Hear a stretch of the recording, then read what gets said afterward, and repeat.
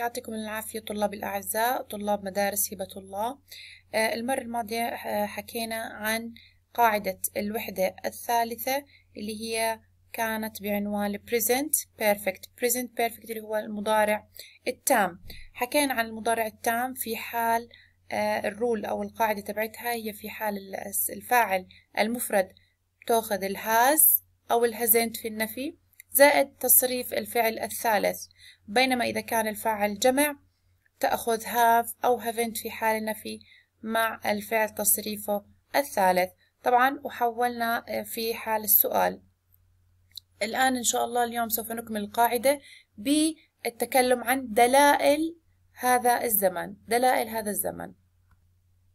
طبعا يا سادس دلائل ال present perfect كتير. آه، وأهم إشي بدها تركيز أهم إشي بدها تركيز. أول دليل عنا اللي هو ال since أول دليل عنا لل present perfect اللي هو ال since بمعنى منذ بمعنى منذ. طبعا تستخدم هذه آه، بمعنى آه، بداية الفترة الزمنية. يعني إحنا عارفين الفترة الزمنية منذ بدايتها لكن إحنا ما بنعرف النهاية إحنا بنعرف البداية. إذا تستخدم مع بداية فترة زمنية. إحنا لإيش بنستخدمها؟ يعني إذا كانت الجملة فيها سنوات. لما بنحكي since 2000 أو نحكي أرقام أو أسماء الأيام. نحكي since Monday أسماء الأشهر. since June الفصول أربعة. since summer. أو مع بعض الكلمات التالية اللي هي since when I was a child since when I was a baby ولا since when I was born. okay إذا الدلائل لما بيكون عندي سنة أيام أسبوع أيام الأشهر أو sorry أسماء الأشهر الفصول الأربعة عندك yesterday last مع أي time. Since last summer. Since last June. أو عندك الساعة. أو عندك الساعة اللي هي كلمة o'clock. أوكي نأتي للمثال. He has spoken English since he was a child. إذا هو يتحدث اللغة الإنجليزية منذ آه الطفولة. منذ الطفولة. حكينا كلمة child هي دليل على استخدام since. إذا متى بدي أستخدم since لأنه عندي a child. وإحنا دليل child هي لا since نأتي على الدليل الآخر من present. perfect اللي هي كلمة for. وهي لمدة بمعنى لمدة. وهي فترة زمنية محددة يعني بنعرف البداية والنهاية.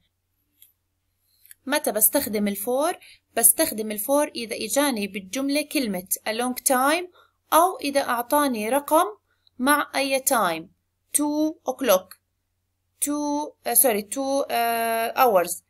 2 minutes. 2 days. عرفتوا كيف؟ 2 uh, years ago. مثال عليها we have watched the film for 2 hours. بما إنه أعطاني رقم مع time زمن إذا راح أستخدم for ما راح أستخدم since راح أستخدم for نأتي للدليل الآخر اللي هي كلمة already وهي آه ترجمتها مسبقا أو حصل وانتهى مسبقا. وهو يستخدم للتعبير عن الحدث الذي حصل مسبقا يعني حصل إشي بالماضي وانتهى. نستخدم already في حالة الجملة المثبتة. نستخدمها في حالة الجملة المثبتة. مثال عليها they have already finished lunch. إذا هم already مسبقا انتهوا من تناول الغداء. كيف عرفنا؟ من الجملة الأخرى اللي هي بحكي لك they are in the sitting room. إنهم موجودين في غرفة المعيشة. إذا نستخدم ال already في حالة الجملة المثبتة. لما يكون في عندي دليل بالجملة إنه في إشي انتهى تم مسبقا في الماضي. نيجي للدليل just. الدليل just بمعنى توا يا دوب الآن. توا إذا نستخدم للتعبير عن الحديث عن الفعل الذي للتو للتو تم الانتهاء منه. إذا توا انتهى الفعل. ويأتي في الجملة المثبتة مثال عليها Mom has just cooked the rice. It's too hot. كيف بدي أفرق بين استخدام ال already وال just من الجملتين؟ بيكون في عندي تكملة للجملة. في عنا هون زي ما إحنا حكينا they have already finished lunch. They are in the sitting room. من خلال الجملة هاي إنهم موجودين بغرفة المعيشة. إذا أكيد انتهوا من تناول الطعام أو الغداء. بينما جملة mom has just cooked the rice. It's too hot. من كلمة it's too hot. الرز حامي. أكيد هو توا انتهى من آه، طبخه. أوكي؟ الآن نأتي إلى دليل يت يت سهلة جدا. بمعنى آه، آه، إلى الآن أو ليس بعد. بمعنى إلى الآن أغلبها. وتستخدم في نهاية الجملة. إذا هي دائما اليت تأتي في نهاية الجملة وتأتي في الجمل المنفية والسؤال. المنفية والسؤال. طيب بمعنى حدث حدث لم ينتهي أو يحصل حتى الآن. I haven't seen this film yet. يعني لم أرى هذا الفيلم قبل الآن. قبل الآن. أو إلى الآن. طيب هنا في حالة النفي. طيب كيف بدي أستخدمها في حالة السؤال؟ Have you seen this film yet? هل شاهدت هذا الفيلم إلى الآن؟ مع علامة السؤال. إذا اليت تأتي دائما في نهاية الجملة. ولكن أي جملة في النفي والسؤال فقط في السؤال والنفي. نأتي إلى never. never وهي إطلاقا يعني في جمل النفي فقط تأتي. تأتي في جمل النفي بمعنى إطلاقا. طيب تستخدم في جمل المنفية بين الفعل الرئيسي والمساعد مع الانتباه لعدم وجود كلمة not. يعني ما هي أصلها not معناها أبدا منفية. ما بصير نحط معاها كلمة not. أوكي؟ إذا never بمعنى not. مش لازم يتواجدوا تنتين في نفس الجملة.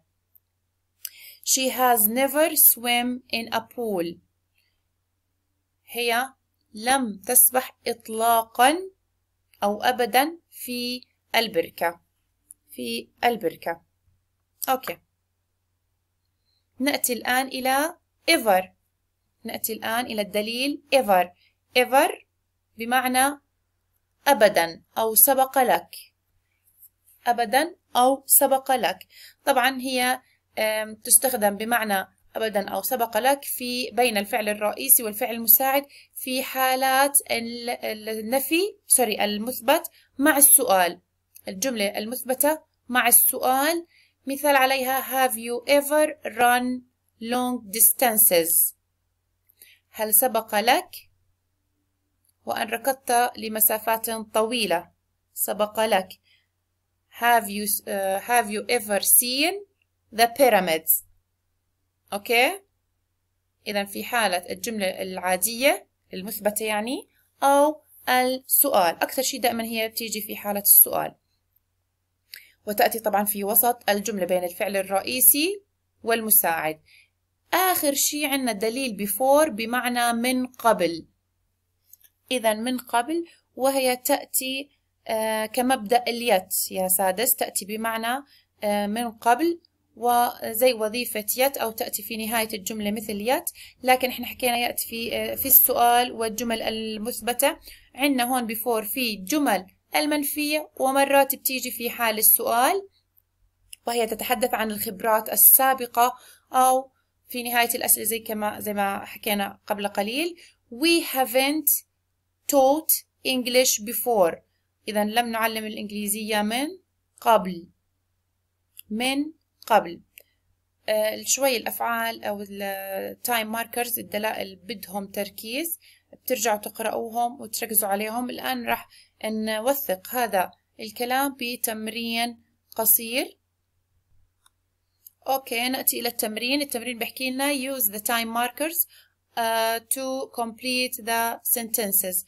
إذا بدنا نعمل كيف ما شرحنا بال box اللي شرحنا فيه عن ال time markers الدلائل. هذه الدلائل إحنا بدنا نملأها بالفراغ. okay أنا حاط لك هون تحت ال time markers عشان لا تنساهم. والآن بنبلش قراءة جملة جملة. Number one the men have written stories. عندك. بعد الفراغ سنة وإحنا حكينا مع السنوات إيش بيجينا؟ سنوات بيجينا since إذا الإجابة راح تكون since okay. نكمل الآن ب sentence 2 Mom hasn't prepared lunch. فراغ 3 days.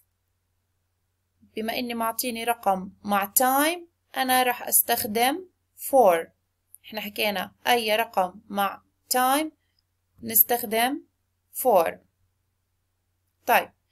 Number 3 has she helped her teacher? عندي فراغ. راح تكون عندي before. طبعا هون صحيحة في عندي yet أو before صحيح يعني إذا اخترت اليت صحيحة وإذا اخترت ال before صحيحة. لأن دائما ال before وال yet بتأتي مع السؤال في نهاية الجملة. Number four we have فراغ eaten dinner. I can't eat anything else. في عندي جملتين. بدك تستخدم فيهم دليل. فبحكي لك eat dinner. I can't eat anything else. يعني مش قادر ياكل معناته إنه هلأ توا هذا خلص من تناول العشاء. اذا إيش بدي أحط؟ في عندي خيارين إما ال already أو just. كيف بدي أختار بيناتهم؟ ال already إشي صار زمان بيكون في إشي بالماضي بيعطيني. بينما بما إنه بحكي لك إنه I can't eat anything else مش قادر هلأ آكل إشي إذا رح يكون just.